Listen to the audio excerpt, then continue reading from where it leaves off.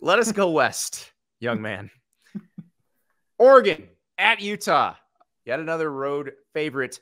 Five and a half point favorite. The Ducks going to Rice Eccles Stadium, one of the toughest places in the Pac 12, if not the country, to play. The must, the mighty Utah student section, will be rocking.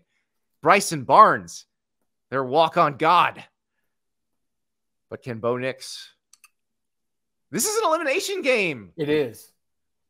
I, I love how quickly things can change in college football. Of course, um, this is yeah, it's, it's now the de facto Pac-12 championship, in my opinion. The two best teams in the conference, even though yes, Washington is still out there at large, but after their very shaky performance, you can't necessarily um, say that they're going to finish unscathed. But Kyle Whittingham, fantastic. We, we, just found out Cam Rising, Brant Kuithe, they're going to be shut down the rest of the year. And it, yep. it, just seems irrelevant at this point because of how they're playing so well. So Barnes, he did take a hit near the end of that game. And I don't know if he's going to be a little bit banged up entering this weekend, but it was interesting to me that after that late hit where he, he took that little bit of a, a smack, he did not have a catchable pass on a throwaway and a very key one, but his legs put them in position for that. oh, he ran right last, through the USC defense to, to which, set up that field goal. Is, I mean, that's not saying much, but you know, he still had to do it.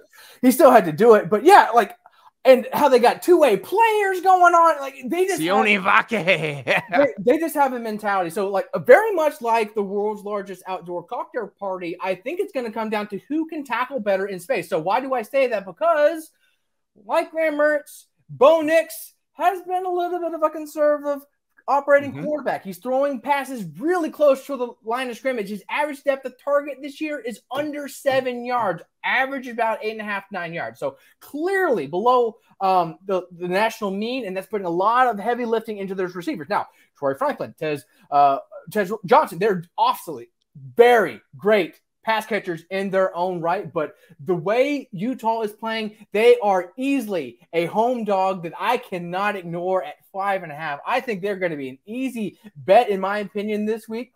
And uh, even though, yes, Bo Nix has been playing a lot better in terms of decision maker, in terms of prudence, he himself can find explosive plays. It's just that down to down operation because of how it is so um, reliant on the YAC stuff. I think because how Utah tackles better and gets off the field better, that they're going to be able to come away not only with a cover here, Andy, but a mm. money line win straight Ooh, up. Ooh, very nice. So here's why I'm not ready to go there yet. Okay. Talk me off that ledge. Talk talk down my optimism here. Utah went to Corvallis, a place where what do they have in Corvallis? People who are really good on the line of scrimmage. Oh, I think you said like Potato Hills and stuff. That too. Oh, that okay. too. They, they, and good Pinot. Good Pinot in, in well in Corvallis and Eugene. The the Willamette Valley is fantastic. So, um, but they they shut this offense down. And now, granted, Utah was kind of trying to figure itself out at the yeah, time. Yeah. But with the level of athlete that Oregon has on the D line, is something that Utah has not seen. They saw one. Mm, they saw Bear Alexander. Well, uh, uh, Solomon Byrd is no pushover either, Andy. That's true. That's true. I mean, really, outside of the linebacker, but Alex Grinch was was coordinating that defense. That is true. He was he was he was putting them in the wrong spot. He was sending them left, and the and they were running right too often. They were so slanting instead of just out athleting. Although you're not really going to out athlete Utah. Um, and when you're getting a power pick from Bear Alexander at the end, there's really not much schematics can do at that point. Right. So that's my that's my concern. My concern is when Utah faces a defense that has really, really good athletes who are put in the correct places. Are they good enough to operate? Are they good enough to score? Because we've seen it against other two, but like UCLA shut them down too. Mm-hmm. Remember, mm-hmm. seven of Utah's points in the UCLA game, seven of Utah's 14 points were pick six. But that was so, also like a midweek game. And like, take it for what it's worth. Again, also earlier in the season, trying to figure themselves out. Yep. I mean, a lot of our job is trying to hit a moving target, and Utah mm-hmm. is definitely accentuating yeah. that. Um, to, to, they're to evolving, know, yes, to say the least. Yeah, they're they're in now phase three Charizard almost, I would say, um, in terms of their. Did not know we were going into Pokemon. Uh, I, I, I figured it'd be the Charmander, easiest- Charmeleon, and Charizard. Yes, my son was big into Pokemon. When, Well, uh, I, I when he was figured that would be the best allegory there to use. That would for the phases. I don't know because the Yes. nesting jaw, like I, I was like, nah. but because I was like trying to figure that on the fly. But still, yeah, I because we're trying to figure out who they are. I just think they're just finding a lot of pieces. But at the same time, that also goes to their favor because opponents wise, and you have to prepare for that. It's like, what are we gonna see? What what's Right. there to expect? And I just think that element of surprise and playing at home, even though yeah, Dan Lanning basically trying to replicate that style of defense that Kirby Smart has had, playing that two high, creeper, pressure type of stuff, confuse and rally with excellent technique and athleticism, all comes into the cards. I just think sometimes 12 personnel under center, and you can find wins that way and staying ahead of the chains. I think Utah's able to do that.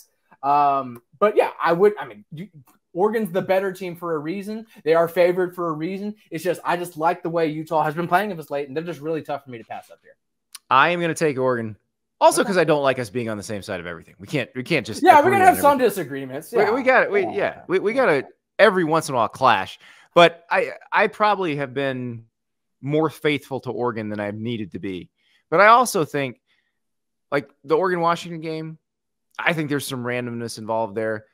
There was only one fourth down decision that bothered me. I thought he, I think he kicked the field goal at the end of the half, but like I loved going for it on fourth and and two. I think it was more like the play call, and I bless bless the narrative gods because now we're evolving. Should they go for it on fourth and down to should they have called that play on Right. fourth down? So yes, we are evolving as not only on field but off field analysts as well. So I, I I do like that. But yeah, just the rollouts in that um Houston they also fell running a very similar thing. Mhm. Uh, Donovan Smith on the roll. He just could not place that pass perfectly. It's behind receiver. Ball game. Texas escapes. You also, yeah, you, when, when you're rolling to one side of the field, you are limiting what you can do Mhm. in the pass game. You can Fair enough. throw to, you can throw in that direction. You can't throw in the other direction. You can't turn and run in the other direction, or you're going to get Mhm. tackled. So yeah, I, I'm with you. I will take Oregon.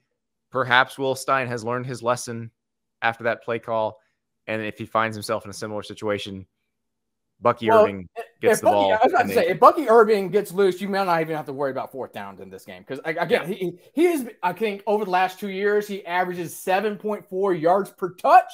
It's most of anybody over Yeah. that span. So yeah, he is a special playmaker in his own right, and if he can find lanes, I. I to your point, yeah, Oregon should definitely cover here, but that's, I just think they, I just think Kyle Whittingham mucks it up and they just keep it close Oh, and yeah. ultimately win.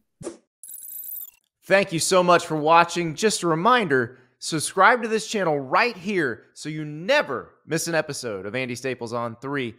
And oh, by the way, watch all the other great videos on the On 3 Sports YouTube channel.